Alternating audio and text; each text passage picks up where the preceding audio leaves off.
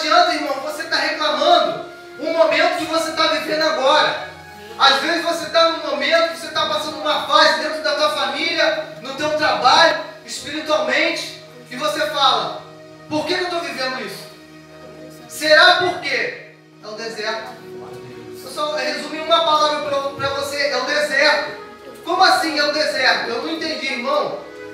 É o deserto que você vai viver até você chegar lá em cima céu, no céu e andar em ruas de ouro no paraíso com Deus. Aleluia. Como é que você quer viver aqui na terra, no paraíso? Se você viver aqui na terra, no paraíso, você não vai buscar ao Senhor. Se você não tiver nenhum pouco de dificuldade, você não vai crer mais em Deus. Você vai falar: minha vida que beleza, olha, eu tenho dinheiro, carro, moto, mansão, uma conta bancária maravilhosa, minha família é perfeita, mas não é bem assim não, irmão. Não é bem assim. Agora, Deus não nos proíbe de ter uma vida com muito dinheiro, não. Falando biblicamente, irmão. Eu quero que alguém me prove biblicamente que é proibido o crente ter muito dinheiro, ser rico. É proibido você amar ao dinheiro Tá? Porque os dez, um dos dez mandamentos, e o primeiro, e o segundo, que é o mais importante, é amará o Senhor teu Deus de todo o teu coração. E o segundo, amará o teu próximo como a ti mesmo. Sabe por quê? Porque sem amor nada seremos. Se eu não tiver amor, se eu não amar a igreja, se eu não amar a minha esposa, se eu não amar o próximo, quem eu sou, irmão? No céu, irmão, sabe o que vai entrar no céu? É amor. Eu acho que de tudo que nós temos aqui na terra, só o amor prevalecerá lá em cima. Você acha que você vai levar teu carro, tua moto, tua mãe, teu pai, teu irmão? Não vai levar salvação individual. Você pode entrar com ele lá no céu, mas ele não será seu. O seu filho, a sua filha, a sua neta, a sua parentela, ele não é seu, ele é de Deus. E eu te digo mais: tudo que eu tenho, tudo que você tem, seja uma agulha que você tenha dentro da sua casa, isso é de Deus, isso não é teu. Como assim? Eu não entendi. Sabe por quê? Porque tudo é Deus que nos dá. A saúde que você tem é sua? Não é não. A saúde que eu tenho é minha? Claro que não. É Deus que me dá. Agora Deus me dá força para que eu possa continuar buscando, buscando, buscando e conseguir alcançar cada dia mais a minha saúde. Deus está permitindo a minha saúde, Deus está permitindo o livramento. O deserto de Deus, irmãos, ele ele nos ensina muito. Deserto, tem o deserto de Deus falando espiritualmente, temos o deserto aqui na terra, porque não é fácil ser crente, não, irmão. Não é fácil ser crente. Não é fácil ser um líder. Você que sonha, almeja ser um líder, amém. Isso é o que Deus quer sim. Mas você tem que se preparar muito. Não é fácil não. As pessoas tacam cada pedra você não precisa nem ser líder para nego estar tá te tacando pedra. Você não precisa ser líder, não. É só você falar assim, ó, eu sou crente. Ah, tu é crente. Ah, entendi. Entendi, tu é crente. Pronto, irmão, não precisa falar mais nada. Tá aí, já começou o deserto na tua vida. Às vezes você tem um vizinho lá endemoniado, irmão. Oh, repreende ele, fala Satanás. Você está fechado agora em nome de Jesus repreendo. É verdade, irmão, porque às vezes aparece, infelizmente. Eu sei que nós somos seres humanos, mas só que as pessoas se permitem, espiritualmente falando, entrar algo de ruim dentro da vida dela e para sair só com o nome de Cristo. Às vezes você fala, cara, eu não estou entendendo. Poxa, o meu amigo, eu faço isso, eu faço aquilo, mas ele está sempre me atrapalhando, ele está sempre me contrariando. Será que é teu amigo? Será que é teu amigo? Será que às vezes você está pensando que ele é teu amigo? Porque o único amigo fiel, até onde eu sei, é Deus. Mas a Bíblia nos diz aqui que nós temos que ter amigos aqui na terra. Que você possa ter um amigo sim. Que você possa ser fiel a esse amigo. Uma das coisas que eu, por exemplo, fico muito triste é com a falsidade, a mentira, o desprezo. Porque hoje você despreza ali um mendigo, amanhã vai ser você que vai ser desprezado. É Deus. Deus vê tudo, querido. Aqui no verso 3, tempo de matar, tempo de curar, tempo de derrubar, tempo de edificar, há tempo para tudo. Às vezes você é construir um palácio Às vezes Deus te deu um império. Às vezes Deus te deu amigos maravilhosos. Sabe, aquele amigo que você está toda semana na casa dele, faz churrasco, me convida, vamos sair, me dá carona, você vem com ele para a igreja. Irmão, isso aí tudo passa. A única coisa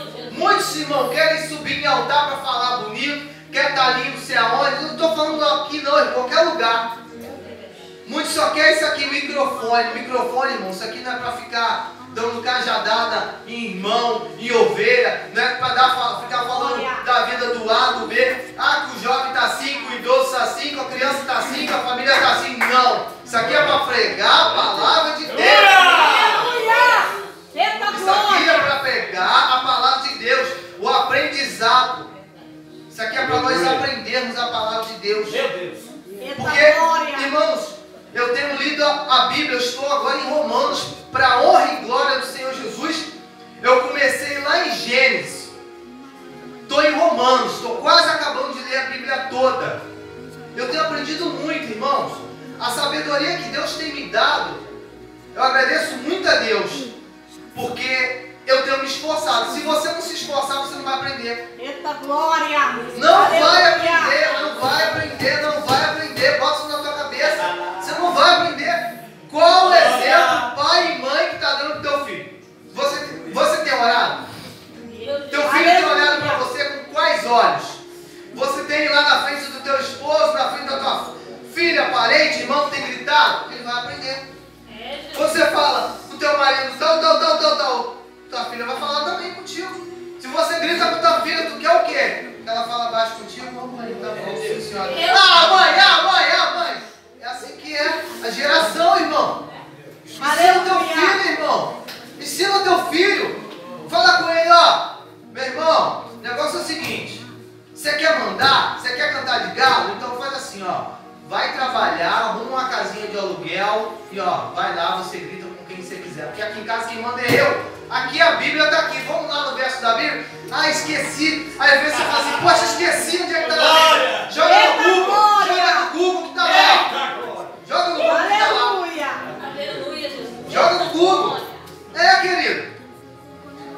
continuar aqui, ó. Tempo de chorar, tempo de rir, tempo de plantear. Tem tempo de chorar, irmão. Tem tempo de rir. Agora é o tempo de você chorar, mas é diante de Deus que você está aqui, Deus está aqui. É tempo de você rir. É tempo de você refletir nas, nos seus erros. Porque eu quando eu estou aqui, irmãos, eu me anulo. Eu quero falar somente o que Deus me permitir falar. É porque eu quero te encher de Deus. Não olha para mim não, irmãos. Olha para mim. Olha para mim agora. Eu estou te pedindo, olha para mim. Eu tenho algo para te oferecer? Eu não tenho nada para te oferecer. Eu não tenho nada para te oferecer. Agora, a palavra me garante, onde tem dois ou mais, ali eu estou. Peraí. Glorifica a Deus, porque se onde tem. Aqui tem muito mais de dois. Eu creio que pelo menos mais de 30 pessoas tem aqui. Então será que Deus não está aqui? Cadê a nossa fé?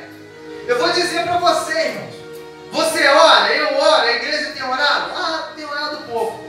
Sabe se isso Deus, Espírito Santo me revela, isso é porque você não tem tido fé nele suficiente para você chegar em qualquer lugar, se ajoelhar e agradecer a Deus, pedir a Ele o que você quiser. Meu Deus. Porque a Bíblia me garante que você é com fé, você ajoelha. Ele tem dois, então, se Deus está aqui invisível, no espiritual, irmão, se você não orar, cara, não vai acontecer nada. Não vai acontecer nada. Você acha que você contar a tua vida para os outros vai resolver alguma coisa? Meu Deus.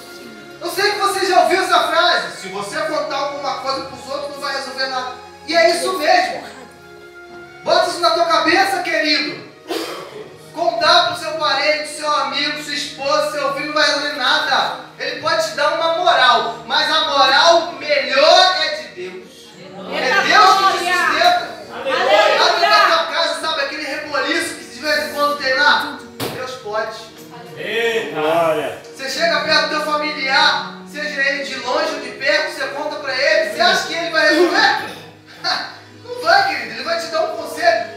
Olha, eu tenho visto, ouvido muito conselho aí, cara, que eu vou te falar, não é de Deus. E às vezes você dá ouvido. Aí fora as pessoas então, em cima do altar as pessoas têm pregando, vem pregando cada heresia, cada coisa, aquilo é brincadeira. O povo de Deus antigamente ele era mais esperto. Hoje em dia as pessoas estão aqui, ó, pulando,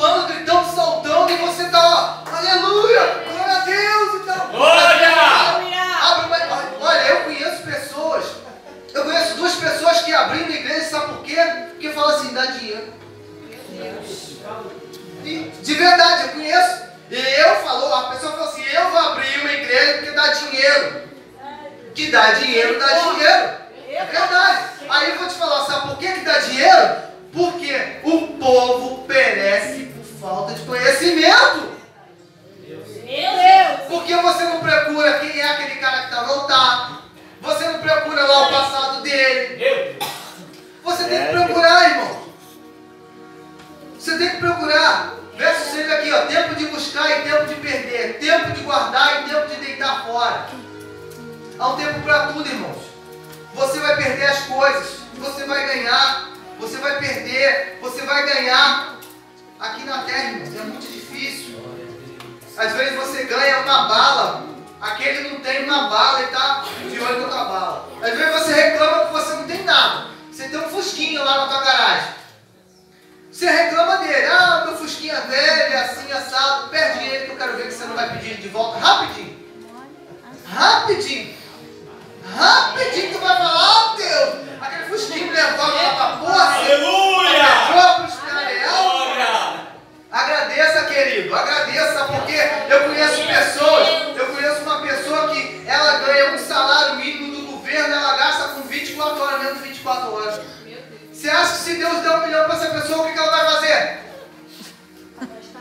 Às vezes Deus não te dá mais porque você ainda não aprendeu a administrar o que você tem. Porque às vezes muitas pessoas não conseguem administrar nem mesmo a tua casa. Chega na tua casa, tem uma bagunça. A tua casa ali é física, tá? Tua casa física. Se a tua casa física já está ruim, imagina a tua casa espiritual. É Deus.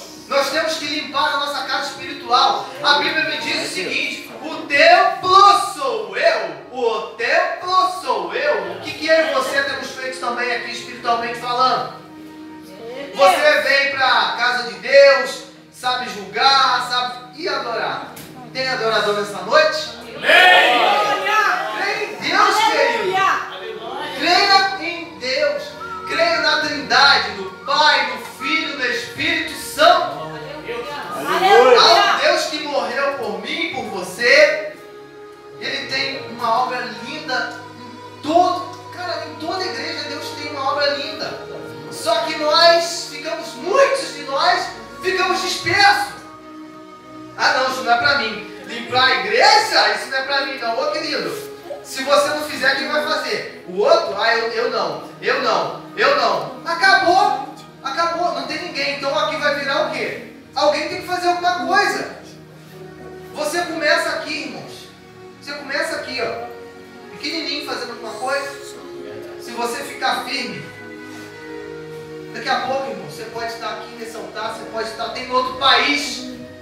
Mas aqui também, ó, lendo a Bíblia, porque só de ouvir, eu sei que tem muita gente inteligente que pega muita coisa de ouvir, mas eu acho que se você não ler a Bíblia, ah, eu tenho, eu tenho quase certeza que você não vai aprender o suficiente para você passar um conhecimento maior um dia se você for um líder. Eu sei que Deus é Deus de maravilha, Ele faz o que Ele quiser, Ele usa quem Ele quer, Ele usou a mula de Balaão, Deus usou uma mula para falar. Deus usa qualquer um usar. Deus usa até a boca do diabo se ele quiser, porque Deus é Deus, ele faz o que ele quiser. Mas fica ligado, irmão. Fica ligado. O deserto, irmãos, ele é para você passar percebendo as coisas. O que, que você vai perceber? Às vezes você só está vendo assim: Meu Deus, só tem areia. Meu Deus, não tem água. Meu Deus,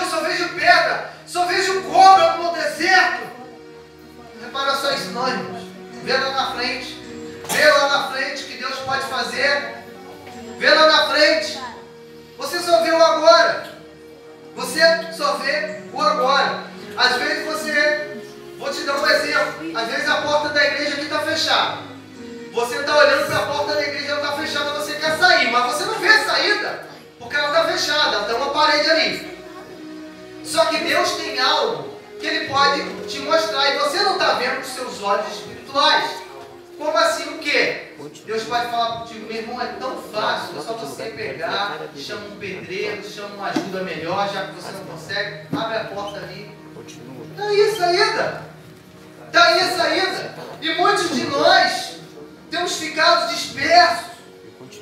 Temos ficado dispersos espiritualmente. A gente tem que ficar ligado no deserto, irmãos. Nós temos que ligar o GPS de Deus.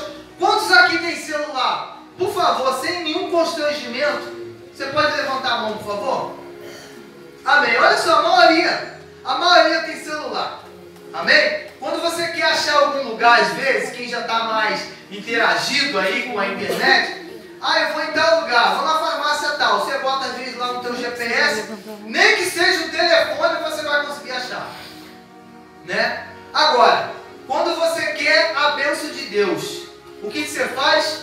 Ou, aliás, o que, que você tem que fazer, né? Porque muitos não fazem. Vai lá no amiguinho e pergunta alguma coisa. O GPS é você ajoelhar e passar um fio. Alô, Senhor Deus, aqui quem está falando, falando é o teu filho. É o pecador, mas o teu filho arrependido. Aleluia! Você pode me atender? Eu não mereço nada. Eu não fiz nada para merecer essa vida que eu tenho, nem boa, nem ruim, nem mais ou menos. Mas tu, Deus, tu merece tudo. Deus, só a tua graça me basta. O senhor está me ouvindo? E fala com Deus, querido. Meu Deus. O senhor está me ouvindo? O senhor está aí ainda, Deus? Auxiliante de Deus. Deus, não é possível, o senhor não está me ouvindo. Olha só, eu estou num deserto. Olha, é só cobra que tem no meu deserto. Eu estou na minha casa, só está faltando alimentação. Eu estou desempregado. Eu estou doente. Irmãos, É, nenhuma condenação há naqueles que creem no nome de Eita Deus. glória!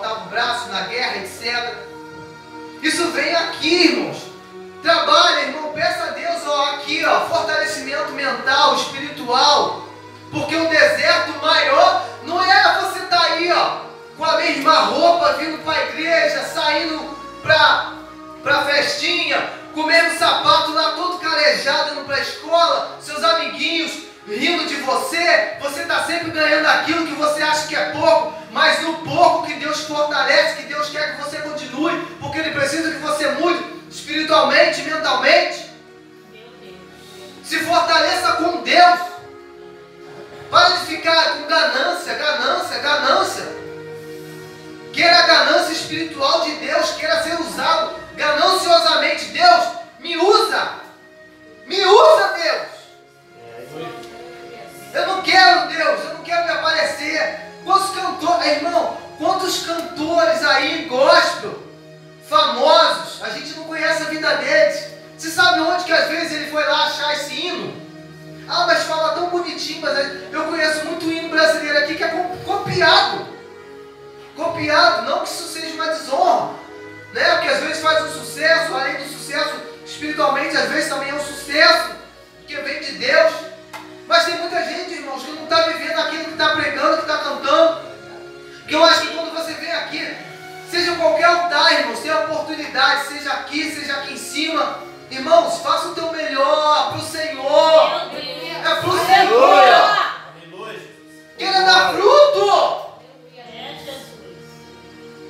Tua vida espiritual, às vezes está lá fraquinha, por que será? Porque você quer, porque a Bíblia me garante, irmãos, que o nosso Deus pode tudo. Jesus, quando ele foi, antes dele ir embora, ele falou, ó, falando popular assim, né, traduzindo no dia de hoje, é como se Jesus estivesse aqui e falou, ó, um dia eu vou embora, igreja, um dia eu vou embora, mas fiquem firmes, tem de bom ânimo, eu venci o mundo, e vocês vão fazer coisas maiores do que eu fiz. Meu Deus. Aleluia. Querido, se Deus falou que eu, de carne e osso, pecador, vou fazer, posso, aliás, posso fazer obras maiores do que o próprio Deus, por que, que eu não creio? É. Porque eu não estou lendo Bíblia, porque eu não estou orando, porque eu não estou jejuando, porque também é muito importante o crente jejuar. É muito importante. É muito, muito importante. Irmãos, vamos parar de brincar. Eu não estou falando que ninguém está brincando, mas eu vejo muita gente brincar. Vamos parar de brincar. Porque, às vezes, se a gente for falar em cima do altar o que Deus manda de verdade, irmãos, acho que talvez ninguém fica na igreja. Eu vou te falar, eu acho que não haveria ninguém que sentado não. Eita glória! Porque às vezes uma pessoa vem aqui e prega, vamos supor, uma igreja bota uma doutrina lá, um exemplo, que você não pode usar bermuda. Te dando um exemplo. Não pode usar bermuda. Mas a Bíblia me diz que você não pode julgar o irmão e tem gente que só de falar assim, ó, ali o fulano tá com o sapato rasgado. E aí? Não assentará na roda dos escarnecedores. Aí às vezes muitas pessoas acham que sentar na roda dos escarnecedores, sabe o que é? Sentar lá no bar, ficar ali falando fofoquinha com um, com o outro, brincando, falando bobeira, isso também é isso, mas é muito mais. Às vezes você bota um conteúdo dentro da tua casa, você está sentado lá na roda dos escarnecedores, porque às vezes você vê um vídeo, vou te dar um exemplo, você vê um vídeo na internet, no YouTube, que está falando mal do nome do Senhor, está falando um monte de bobeira de Deus e tu tá lá assim, ó. Pela piada. Irmão, você está sentado junto com os escarnecedores. Está cheio de anticristo. Você sabia? As pessoas tanto falam de anticristo. Amém? Tanto falam de anticristo. Mas você sabia que toda a Bíblia me garante, tá? Eu li a Bíblia, então tenho lido e eu tenho aprendido. A Bíblia me garante. Se você não sabe, você vai aprender agora. Não existe só um anticristo. Anticristo está escrito na Bíblia. É todo aquele que nega a Jesus. Eita glória! Esse é o anticristo. Agora, virá o chefão, vamos dizer popularmente, virá aquele que diz que é o cara. O anticristo. Irmãos, vamos passar pelo deserto, mas vamos passar dando glória a Deus. Não vamos desanimar, não. Eita Não Deus! vamos desanimar, não, porque Deus é melhor, irmão. Deus é melhor, Deus é maior, Deus é tudo. São nove horas, eu não vou me alongar muito, não, mas ainda quero deixar uma palavra aqui, porque eu aprendo muito, irmãos, que não é por muito falar. Porque quem convence, que eu já aprendi, que se você não aprendeu, você possa aprender, é o Espírito Santo. Eita Você glória! pode ficar aqui falando, falando, falando, falando. Tem uma passagem lá em que Paulo uma vez ficou pregando lá numa casa lá. Tinha um garotinho sentado lá numa janela lá, Paulo pregando até a meia-noite, depois da meia-noite, o garotinho caiu lá embaixo lá. Com certeza porque de Paulo estava todo pregando. Não estou falando mal do, de Paulo da Bíblia, mas eu estou te dando um exemplo. Às vezes eu vou pregar, vou pregar, vou pregar aqui, ó. Se deixar, irmão, eu falo que Deus manda e vou embora. Eu vou aqui 40 minutos, meia hora ou mais e vai passando. Só que eu vou enfadar os ouvidos de vocês. Mas é o Espírito Santo. Eu peço a vocês, querido, que vocês filtrem pelo menos uma palavra que vocês aprendam pelo menos uma frase, uma coisa sirva para vocês nessa noite. Não murmure. Adore o teu Deus. Eu quero ler aqui com vocês, se vocês puderem abrir a Bíblia pela última vez nessa noite, pelo menos comigo aqui falando, em Colossenses, no capítulo 3. Colossenses, no capítulo 3, no verso, somente o verso 1 e 2. Amém? Que se diz assim, ó. Portanto, se já ressuscitares com Cristo, buscai as coisas que são de cima, onde Cristo está sentado à destra de Deus. Irmão, eu poderia fechar minha Bíblia aqui, que já estou fechando, né? E terminar aqui, buscai as coisas de Deus, irmão. Para de buscar o teu amigo, a tua amiga. Busca ele sim, irmão. Mas olha, em primeiro lugar, busca o teu Deus. Teu amigo não vai te deixar você passar no deserto. É Deus que vai te guiar lá em cima.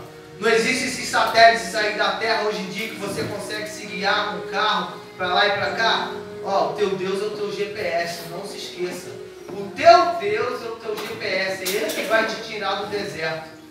Mas aqui na Terra, você não vai sair do deserto. Você vai sair do deserto quando você for lá para cima. Aqui é o deserto, você vai viver. Amém, irmãos? Que você continue, irmãos, nessa força em Deus. Se você não tem força, você peça a Deus, porque Ele é quem vai te dar. Antes de terminar, irmãos, eu só queria perguntar, né? Eu queria, o Espírito Santo colocou no meu coração. Eu não sou ninguém. Eu não sou ninguém. Já estou terminando. Eu não sou ninguém. Mas eu, se você que está precisando de uma oração, que você possa vir aqui na frente, se você quiser, se você se sentiu tocado. Eu creio no meu Deus. Se você que está aí no banco me ouvindo, se a palavra de Deus, se o Espírito Santo te tocou, se você quiser vir aqui até aqui na frente, eu quero orar, orar pela tua vida, eu não sou ninguém. Eu vou orar para o nosso Deus. Vou orar para o nosso Deus. E o teu quadro de vida vai mudar. Você vai conseguir passar pelo deserto dando glória a Deus. Porque é muito fácil, como eu falei, dar glória a Deus debaixo de sombra e água fresca. E no deserto? E no deserto? Se não tem ninguém, irmãos, eu gostaria de estar entregando a minha oportunidade e que você possa ficar ligado em nome de Jesus, porque Deus sempre fará o melhor por mim e por você. Amém? Assim eu quero agradecer essa oportunidade em nome de Jesus.